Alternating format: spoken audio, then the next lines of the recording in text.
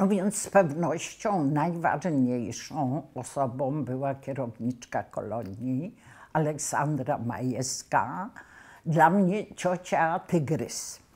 E, między innymi dlatego, że ja ją wcześniej znałam. Po aresztowaniu mojej matki przez jakiś czas mieszkałam na ulicy wtedy Alberta, obecnie niecałej, niecałej, tak, właśnie u cioci Tygrys, Woli Majewskiej. I ona chyba włożyła bardzo dużo trudu w to, żeby mnie wyciągnąć z takiej depresji, z takiej traumy. Jakieś zabawy dla mnie wymyślała. E, stąd ta nazwa ciocia Tygrys, ale poza tym była naprawdę takim tygrysem energii, jeśli chodzi o organizację tych kolonii i cały ten wysiłek na rzecz dzieci po wojnie, już dla tych, które zostały w ogóle bez rodziców, to chyba był ogromny i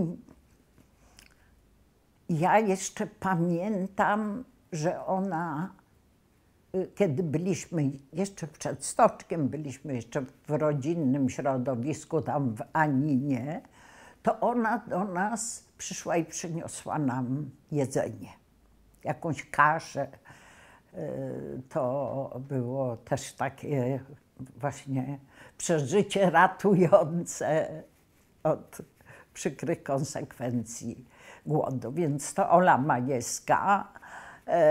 Y, y, później z nią miewałam jeszcze kontakt po wojnie. Spotkałyśmy się, ja dziecko i ona pani kierowniczka bo mniej, mniej więcej w tym samym czasie robiłyśmy doktoraty na pedagogice. Więc to było takie spotkanie, no trochę jakby niwelujące ten dystans. Ale była człowiekiem no, wielkiej pogody, wielkiej pasji. E, śpiewającym, to nie był śpiew artystyczny, ale taki właśnie bardzo, bardzo żywiołowy, bardzo była żywiołową taką osobą. Zresztą później chyba e, w miarę jak się tam te władze oświatowe już utwardzały, to ona w jakieś konflikty e, popadała e, dość solidne właśnie ze względu na swój charakter i zwyczaj mówienia tego, co myśli.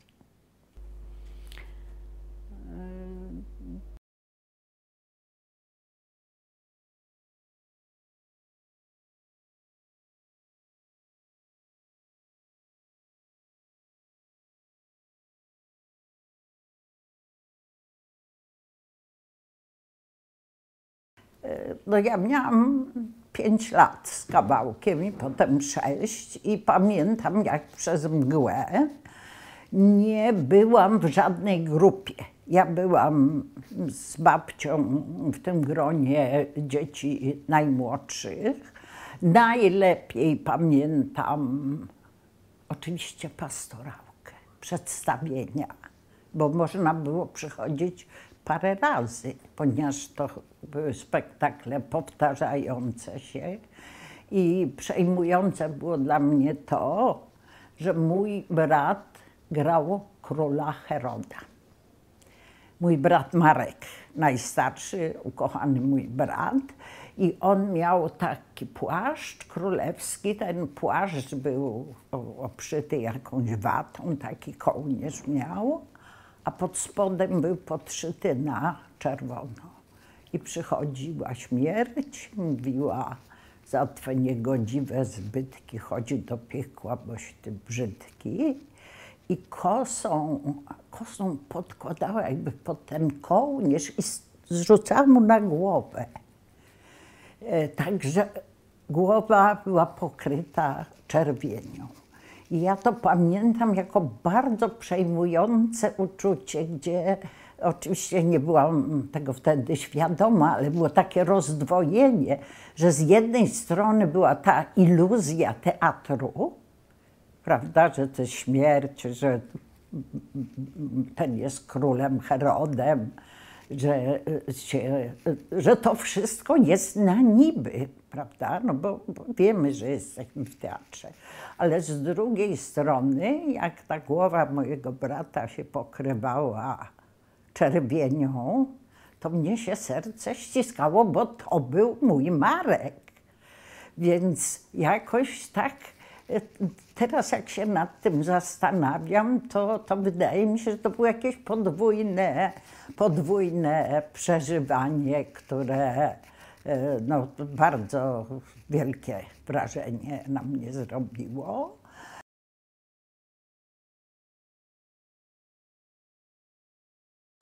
Potem e, była chyba wiosna, to znaczy wiosna była na pewno, tylko w związku z wiosną myśmy zaczęli jeść na zewnątrz. Chyba stoły się wystawiało przed dom i te posiłki były takie właśnie sympatyczne przez to, że wszyscy siadali przy tym wielkim stole i tam, można było sobie rozmawiać i tak dalej. To chyba najlepiej pamiętam. Pamiętam oczywiście tego mojego brata ciotecznego, tego Grajka. I pamiętam, że mój brat Krzysztof, kolejny brat cioteczny, poszedł ze stoczka po kolejnego braciszka młodszego, po Andrzeja. I za jakiś czas go przyprowadził. Andrzej w ogóle nie przeżył tej wojennej poniewierki. On był jakiś ludzi pod, pod ich opieką. I pamiętam, że ja tak się przyglądam, jak on tam miał swoją mydelniczkę i mydło i miał nie pasta do zębów była, tylko było takie pudełeczko z proszkiem do zębów i szczoteczkę. Ja nawet nie wiem, czy ja wtedy miałam własną szczoteczkę do zębów. Nie zdziwiłabym się, gdybym wcale nie miała, ale w każdym razie ta jego takie uporządkowanie i takie właśnie przyjście z tego cywilizowanego świata do nas, takich trochę zdziczałych w tym, zdziczałych w tym gromadnym życiu, chociaż ono było bardzo fajne i przyjemne, to, to, to był pewien, pewien, normalność była szokująca.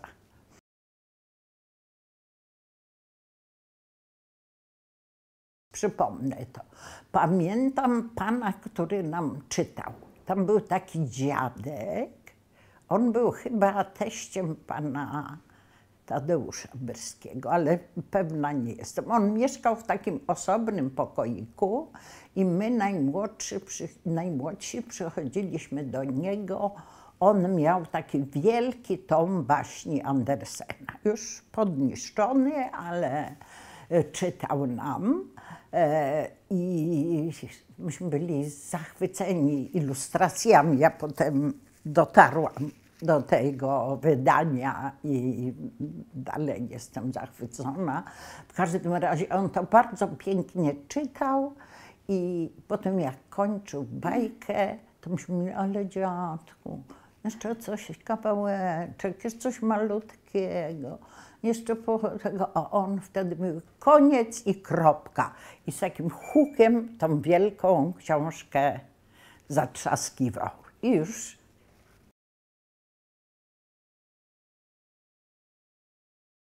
to było takie widowisko, no zresztą jest uwiecznione na tym starym filmie, e, piosenki przedszkolnej właściwie tu lewą mam rączkę, a tu prawą mam. Jak praczki pracują, pokażę je wam.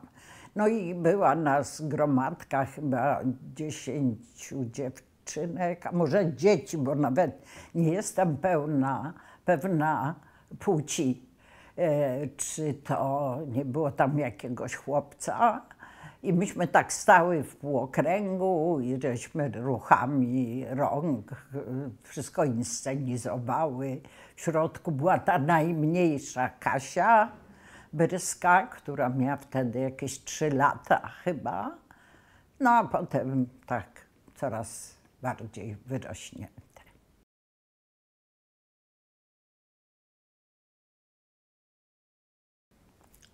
Ja ich pamiętam, ale ja nie wiem, co z tego jest zapamiętane ze stoczka.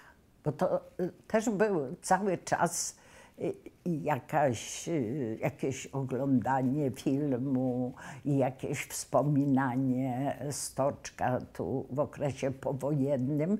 No i potem, jak już byłam dorosła, kontakty z samymi Berskimi, na pewno to byli ludzie bardzo ciekawi, ale czy ja byłam w stanie coś zarejestrować z ich zachowań poza no, tym teatrem, prawda? Bo oni byli teatrem, więc y, y, tutaj w pewnym sensie znikały osoby, a oni się wtapiali w ten teatr. Ja pamiętam, y, był taki wiersz Czesława Miłosza, teraz jak on się nazywał, nie, nie mogę sobie przypomnieć w tej chwili, i tam była taka fraza, ale ja wtedy też nie wiedziałam, czyj to jest wiersz, ani jaki jest jego tytuł.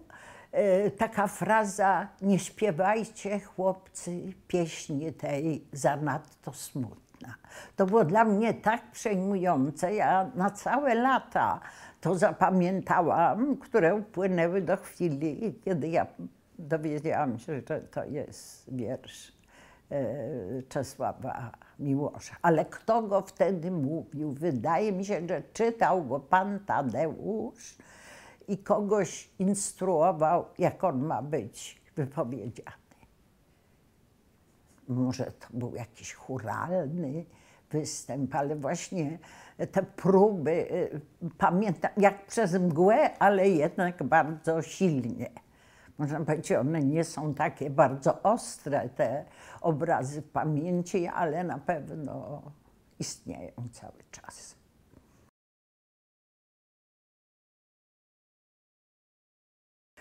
E, myślę, że ten, to takie zderzenie sakrum i profanum dla tych chłopców, no bo to byli młodzi mężczyźni, z rosyjskich, z armii radzieckiej, z rosyjskiego wojska. Młodzi Rosjanie już wychowani, no właściwie bez sakrum, bo to było już to pokolenie urodzone gdzieś w latach dwudziestych. I wydaje mi się, że dla nich to była bardzo, to było bardzo wielkie przeżycie. E, e, żeby to właśnie nie było w jakichś tam ornatach w kościele, tylko w wykonaniu dzieci. Ta chwila zwiastowania, no to zapadała absolutna cisza. Ona była tak, kiedy już nie pamiętam, jakaś tam dziewczynka śpiewa Magnifikat. E, no to po prostu ta cisza aż, aż biła w uszy, takie, takie skupienie panowało. No później oczywiście były te sceny takie bardziej e, już, no można powiedzieć nawet jarmarczne, te sceny pasterskie i tak dalej. E, ale wydaje mi się, że to ogromne. Oczywiście nie byłam w tym wieku, żeby ktoś ze mną się dzielił tymi uwagami. To jest taka moja retrospekcja, ale z całą pewnością to przedstawienie kółko to samo. Cieszyło się ogromną popularnością i było wiele razy powtarzane i zawsze była pełna widownia.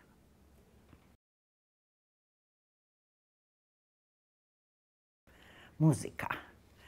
No więc dostaliśmy w prezencie my stoczek, chyba od księdza czy od kogoś, jakąś taką starą fisharmonię. To jest taki mały instrument, to jakby takie zmniejszone pianino, jakby dzisiaj mówić, która była zdezelowana. I właśnie jeden z moich braci ciotecznych, brat najstarszy, Przemek, który był po szkole muzycznej, e, jakoś ją tam doprowadził do użytku, także mieliśmy e, akompaniament muzyczny. Y, przy tych przedstawieniach, ale także przy innych, bo było bardzo dużo śpiewu. Y, wiele piosenek z powstania się śpiewało przecież. warszawskie dzieci to była rzecz, która była nieomalże tam hymnem stoczkowskim. To melodia jest panównika, słowa chyba Stanisława Ryszarda Dobrowolskiego, taka może mniej znana pieśń powstańcza, ale tam była wśród nas bardzo popularna.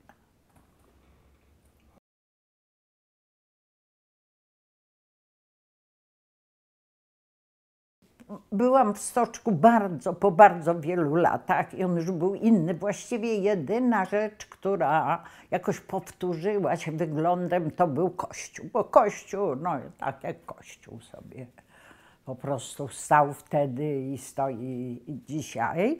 Natomiast ja z tamtego okresu to pamiętam, że byłam na targu, bo tam był taki ryneczek, chodziło się na targ i no tam różne rzeczy się kupowało, że ja poszłam z ciotką na targi, że się zgubiłam. E, po prostu szłam i gadałam i okazało się, że ten rękaw cioci to już nie jest wcale cioci, tylko jakiejś innej osoby. No i y, to taka chwila przerażenia wielkiego, e, wzmocnionego głośnym płaczem i ktoś mnie doprowadził. Od razu się zorientowano, że ja muszę być dzieckiem z kolonii i ktoś mnie tam doprowadził. Doprowadził do kolonii? Do kolonii, tak. Ten rękaw, który ja uważałam, że jest rękawem mojej ciotki, okazał się być rękawem jakiejś zupełnie innej kobiety. Gdzieś tam w tłumie to się przetasowało i ja się znalazłam daleko od ciotki. Ciotka twierdziła potem, że mnie szukała, ale pewnie w innym kierunku zupełnie. Tam był rzeczywiście bardzo duży tłum ludzi, taka gęstwa ludzka. No i ja oczywiście zaczęłam strasznie płakać, przerażona i ktoś zorientował się, że jakoś ludzie się zorientowali, że ja muszę być z kolonii i ktoś mnie tam zaprowadził do, do szkoły, do budynku kolonii.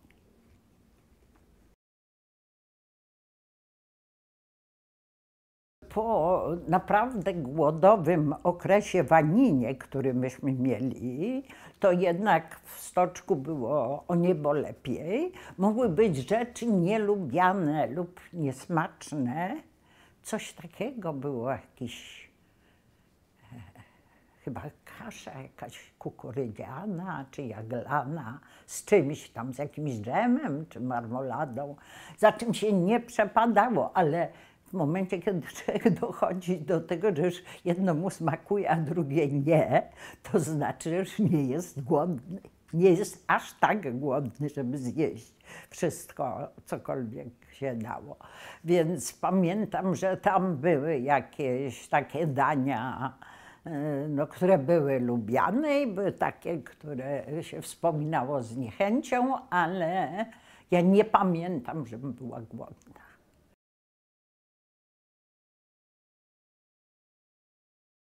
Tam był chłopiec, który był znaleziony gdzieś w gruzach. Chłopiec miał przezwisko Glonek, bo on ciągle kradł chleb i chował pod poduszką. I musiał stale mieć chleb.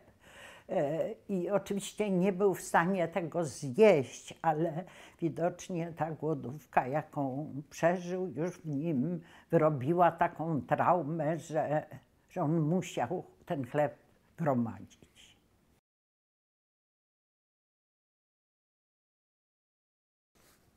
E, to jest dłuższa historia, sweterek w paski. E, historia o tyle dłuższa, że ona się zaczęła jeszcze przed stoczkiem, ponieważ myśmy przyjechali do Ani na, na lato w letnich sukieneczkach, a pozostaliśmy tam już po powstaniu i jesienią i chyba, nie wiem, moja ciotka spruła jakieś y, takie odzienie, nie wiem, czy swoją, jakąś kamizelkę, czy wszyscy się śmieli, że to ze skarpetek, ale nie wiem, czy to było ze skarpetek. I z takich drobinek wełny zrobiła mi sweterek w paseczki, no bo starczało tylko na parę rządków i potem już trzeba było wchodzić e, z nową. Ja całą następną wiosnę jeszcze w tym sweterku chodziłam. On był taki, można powiedzieć, znaczący, aczkolwiek może nie był arcydziełem dziewiarstwa, tylko po prostu był taki mój. No a jeśli chodzi o buty, to, to, to była e, no w ogóle tragedia dzieci wojenna, że noga rośnie, a buty nie chcą rosnąć. Więc na tych wszystkich zdjęciach ze stoczka widać, że dzieci chodzą głównie boso. E, ale mm, jakieś były tam sandały, jakieś pamiętam, że się zamieniało, że ktoś tam wyrósł już ze swoich, to może będą dobre na Asiunię, a Asiuni będą dobre na kogoś innego, kto ma jeszcze mniejszą nogę.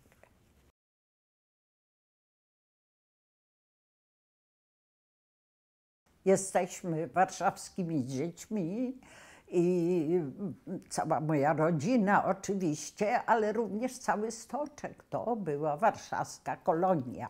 Tam różne dzieci dochodziły później, tak jak my na przykład, o czym zaraz powiem, ale wszyscy mieliśmy tu rodziny, mieliśmy tu swoje domy, no i to wszystko widzieliśmy, jak właśnie e, ginie w ogniu. Jeśli chodzi o moją rodzinę, to e, moja matka została aresztowana jakieś pół roku przed wybuchem powstania. W lutym 1944 roku była na Pawiaku i została rozstrzelana, o ile pamiętam, chyba w kwietniu. E, więc już stąd babcia, która się opiekowała, która przejęła opiekę nad nami. Natomiast ojciec był poszukiwany przez gestapo i on się ukrywał pod innym nazwiskiem. Nazywał się wtedy Stanisław Pawłowski, miał tam fałszywe kankarty i tak dalej. No i, i, potem był w powstaniu, był w powstaniu w tych służbach cywilnych, bo on się cały czas zajmował opieką nad dziećmi.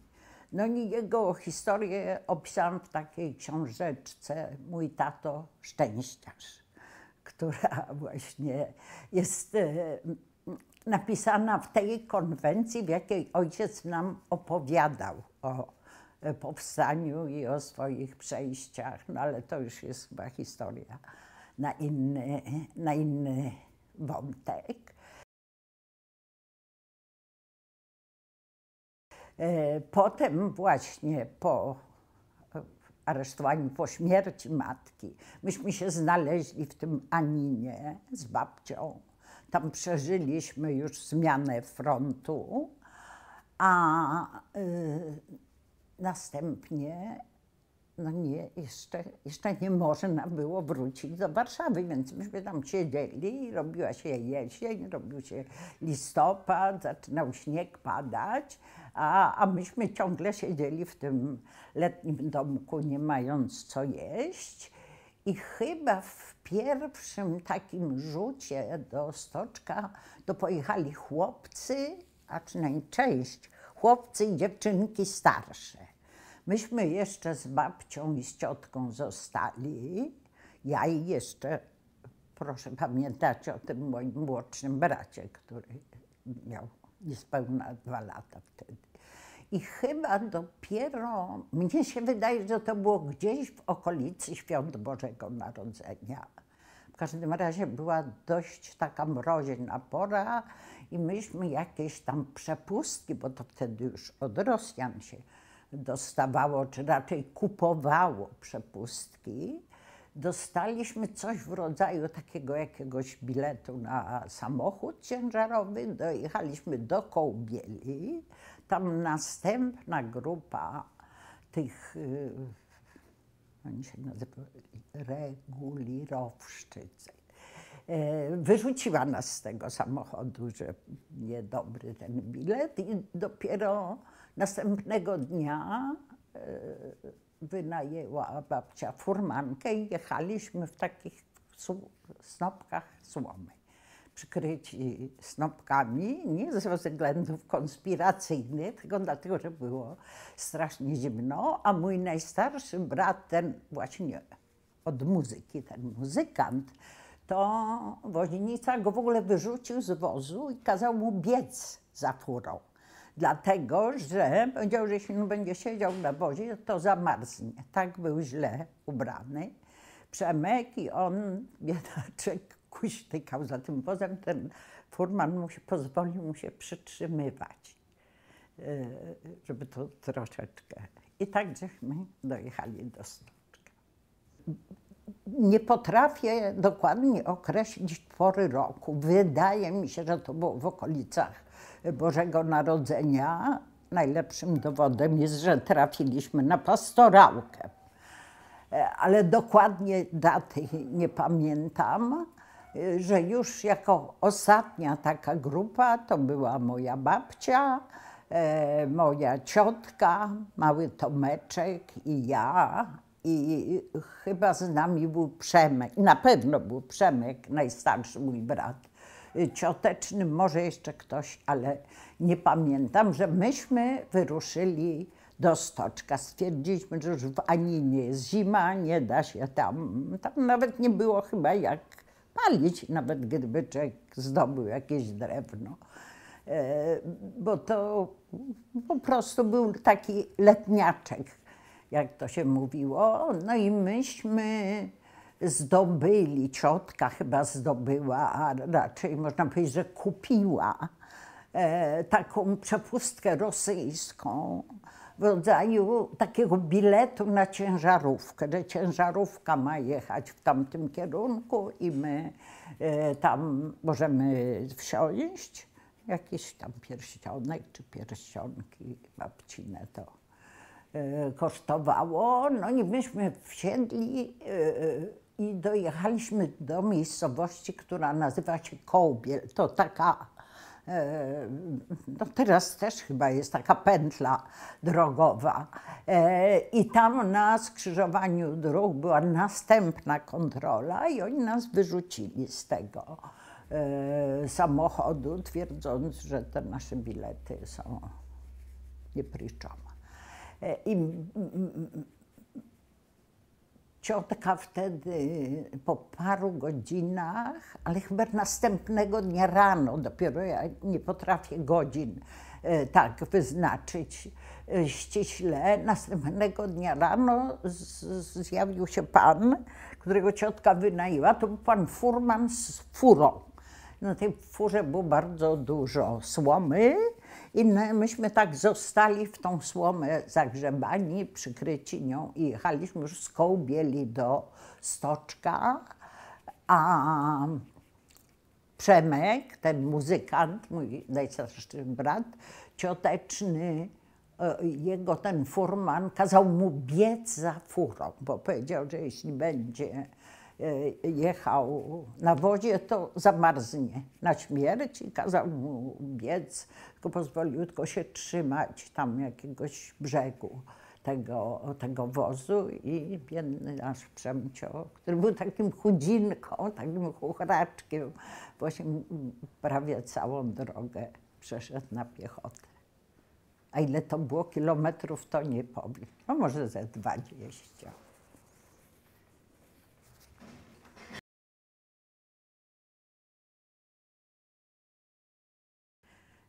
Ja myślę, że moi rodzice i również Ola Majewska, całe to pokolenie wolnej wszechnicy polskiej, y, wychowankowie Radlińskiej, wychowankowie Korczaka.